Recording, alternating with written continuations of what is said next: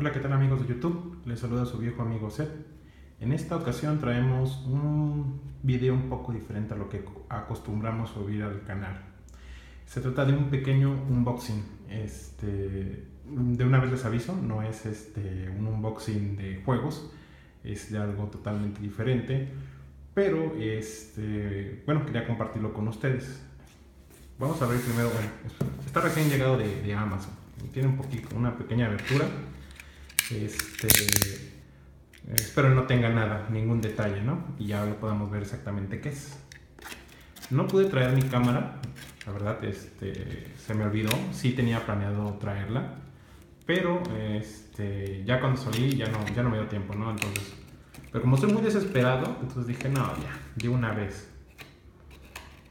Entonces estoy grabando con la cámara del iPhone. Vamos a ver si es cierto de lo que presume, ¿no? Que es una cámara de las mejores que hay en el mercado.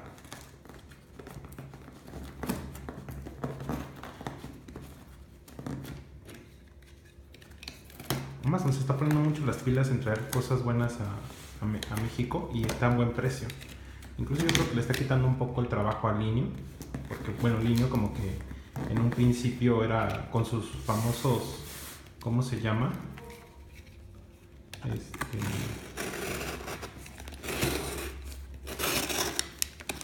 con sus famosos uh, cupones de descuento, estuvo trayendo mucha gente. Pero después como que eso cambió, ¿no?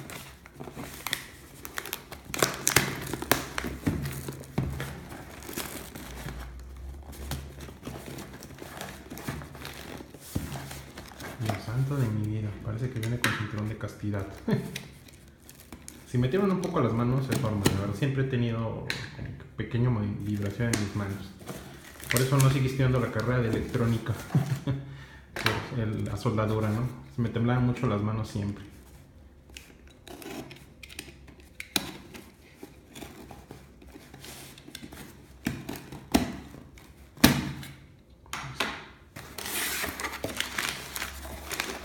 Creo que ya ahí se ve. Efectivamente, señores. ¿Se ve?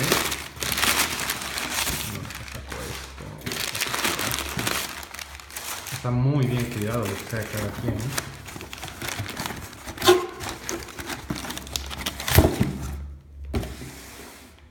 Es famosísimo Garmin Fenix 3. Eh, muchos se preguntarán qué onda con esto, ¿no? Bueno, les, platico un poco el detalle, ¿no? Realmente, por mi tipo de trabajo que tengo, este, más este, eh, pues el pasatiempo que tengo de estar jugando juegos de videos, pues tengo que realizar actividad.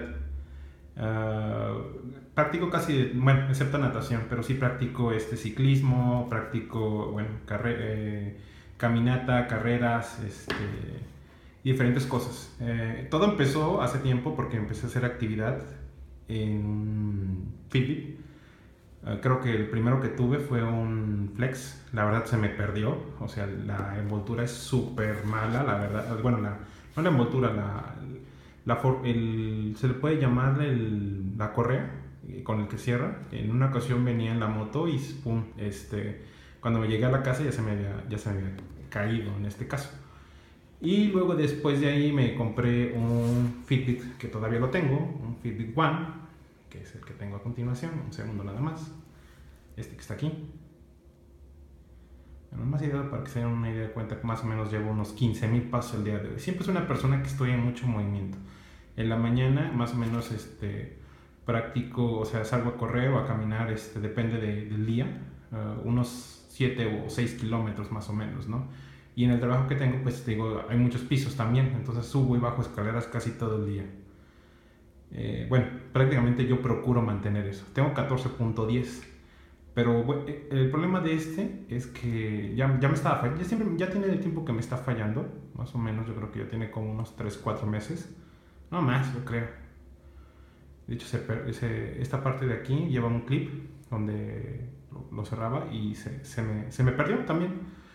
Ah, les comento, y se apaga de repente, o de repente no me muestra, no, no cuenta los pasos, se queda como bloqueado, pues no sé, no sé a qué se debe. Entonces, tiempo después, este, me, me regalaron, bueno, esto sí me lo regalaron, me regalaron un Fitbit este, Search, la verdad. cuando lo vi yo quedé enamorado de ese Fitbit, ¿no? Súper enamorado.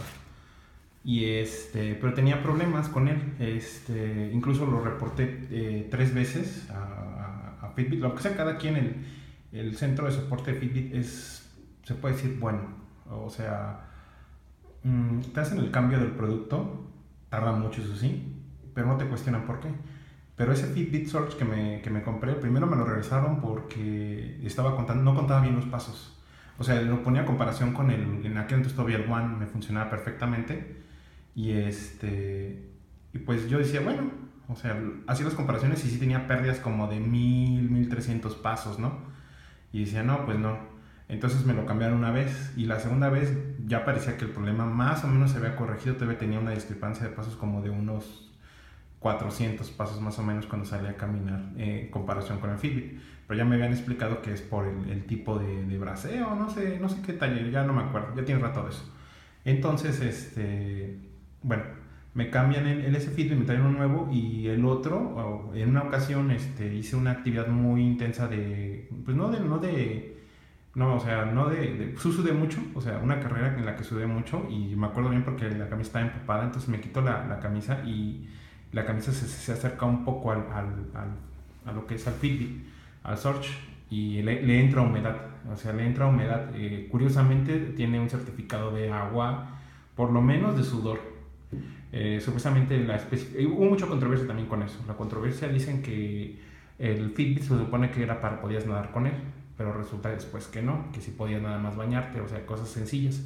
Y luego ya después salió que no, que no se recomienda.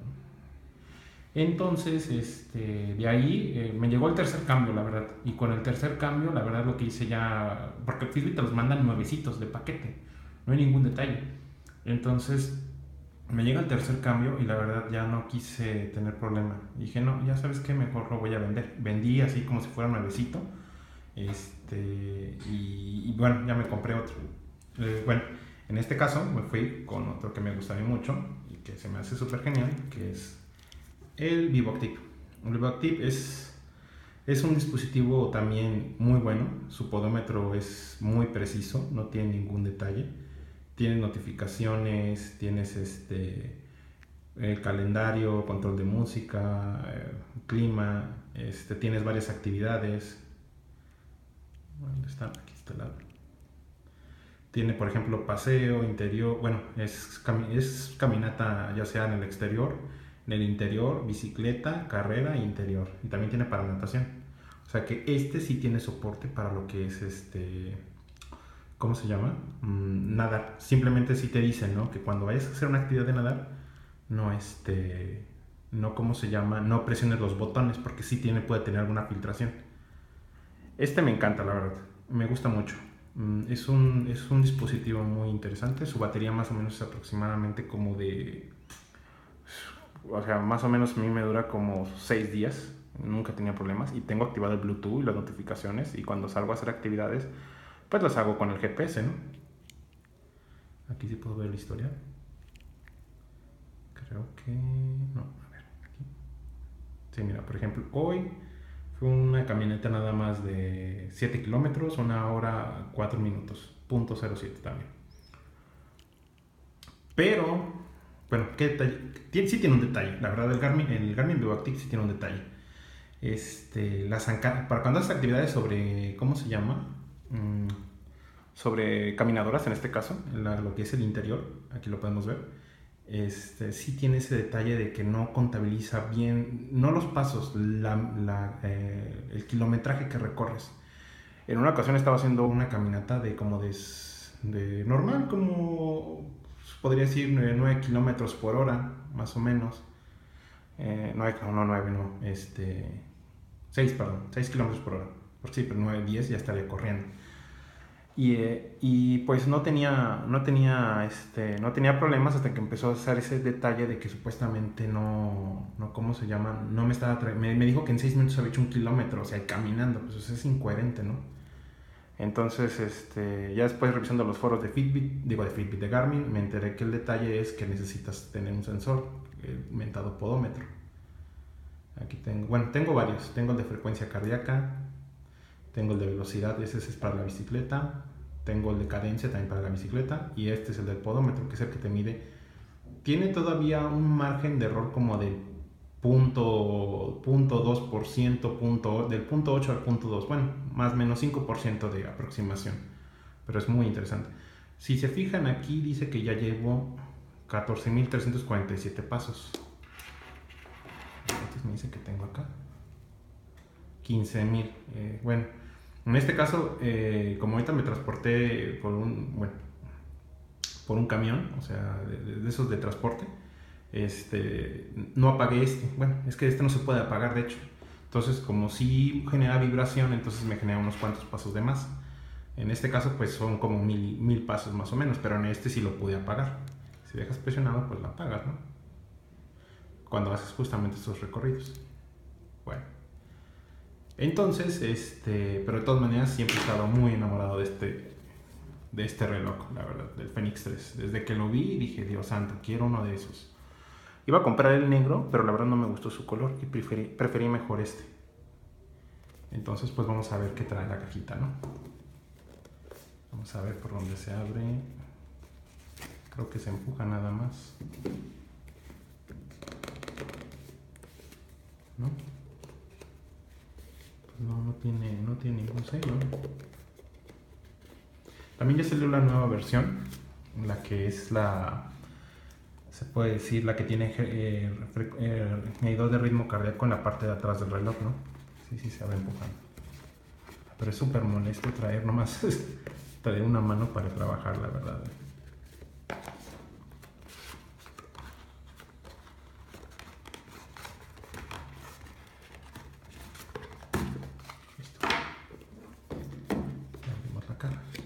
Y ahí está el reloj. Voilà. La verdad había visto unos, unos unboxing y creí que era totalmente diferente. Les soy honesto, les soy honesto. ¿eh? Es color, como les digo, rojo. El negro casi no me gustó tanto.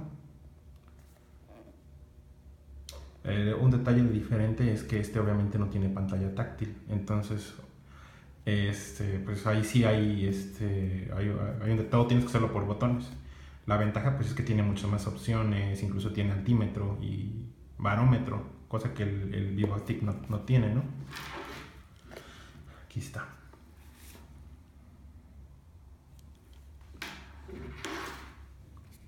Vamos a ver cómo quito esto. A ver qué más accesorios tiene.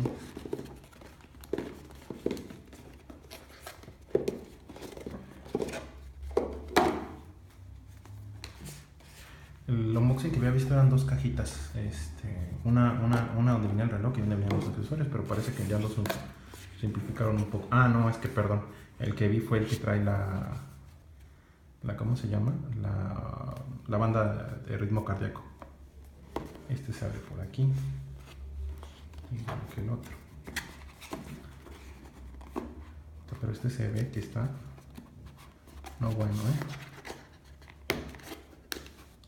Mucha gente le parecerá extraño, ¿no? O sea, ah, mucha gente debe pensar que... Y una vez alguien sí me dijo en el, en el, canal que si yo era un virgen, o me dijo, este, seguro no has de tener sexo ni en años, ¿no? Por la cantidad de videos que tenía. y, y, sí le dije, ¿no? O sea, que tu mujer te, te obligue a mirar sentado no quiere decir que a todas las, todas las mujeres del mundo te hagan eso. Y no, o sea, yo soy una persona que, que sí hace mucha actividad, la verdad. Este, intento mantenerme en, forma, les digo más que nada por el trabajo y el tipo de, ¿cómo se llama?, de, pasatiempo que tengo, que son los juegos de videos en este caso. Y pues obviamente, pues también este, este, tengo familia, por eso muchas veces no, no, este, no, no puedo no puedo subir tan constantemente videos o incluso no puedo grabar porque pues este, están viendo la tele o por el estilo, ¿no? Pues vamos a ver qué tiene la cajita, ¿no? Tiene, pues, como ya sabemos, un manual de instrucciones.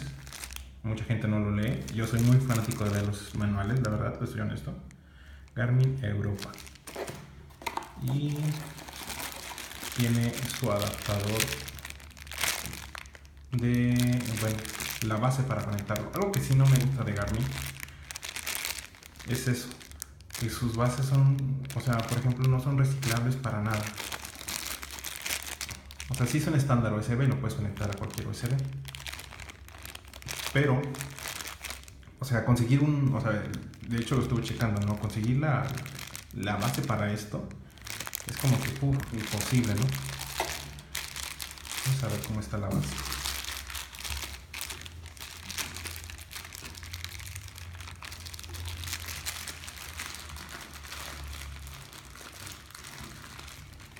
Un segundo.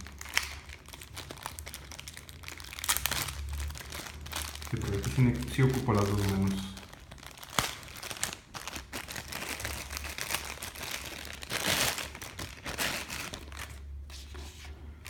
Es, les comento, es un estándar USB.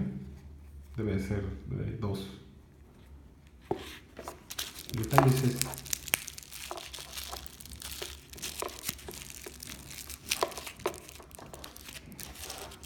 El detalle es este.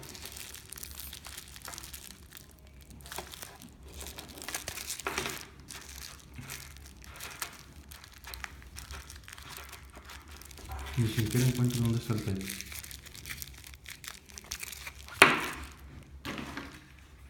Por eso tengo mi amigo exacto.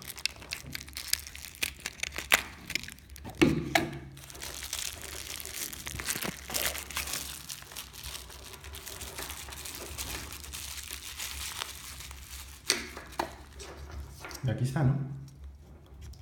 Se supone que este es, bueno, lo conectas, bueno, por lo menos este no es imantado. El del Vivo Active sí lleva un imán atrás. Este, a mí sí me da un poco de preocupación con eso, porque, o sea, bueno, lleva el imán y, o sea, si lo acercas a algún objeto, por ejemplo, algún disco, unidad, puede, puede ser peligroso, ¿no? Y este pues ya no es así, ya nomás es como que justo la medida y cuando lo quieres sacar, pues ya nomás presionas y sale el reloj. Eh, ¿Qué otro detalle tiene por aquí? Pues no, se ve muy sencillo, se ve muy, muy, muy ligero. Lo que estaba leyendo es que este, por ejemplo, es que si estás haciendo una rodada muy lejos, por ejemplo, no sé, que vayas a salir en bicicleta todo el día y este es con el GPS, el GPS te dura 20 horas, la verdad, es muy sorprendente eso. El del Active te dura más o menos unas 10 y el del Search que yo tenía, el del Fitbit, me duraba 8, más o menos. Entonces dicen que puedes poner el reloj, ponerlo en la base y ponerlo en tu mano y obviamente conectar esto a una batería externa, ¿no? Que pues ya ahorita ya está muy de moda. ¿Qué más tiene por aquí?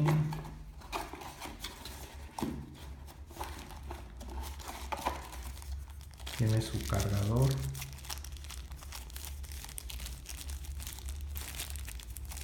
Cargador de pared por si no quieres este, por si quieres conectarlo directamente a la corriente, ¿no?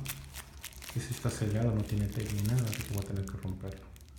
No vamos a romper las cosas, pero bueno.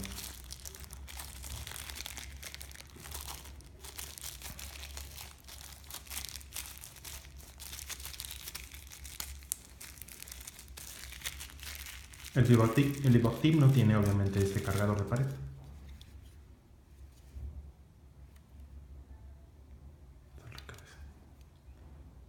Ah, adaptador 8 200 miliamperes es pequeño la verdad. 5 volts 1 ampere.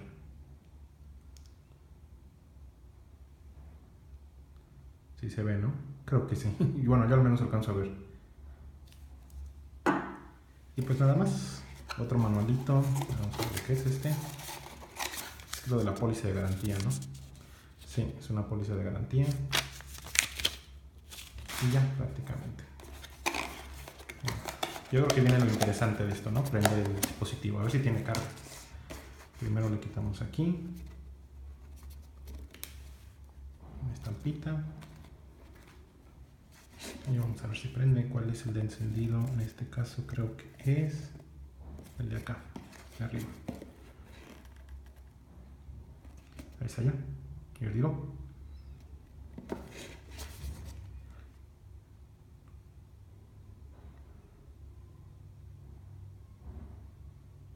Supuestamente este dicen que tiene más precisión incluso con el acelerómetro. El problema del Vivactive, del es el acelerómetro.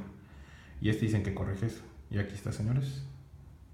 Ya está este. Obviamente pues la pantalla no es, no es touch. Es creo uno de los detalles más fuertes que tiene.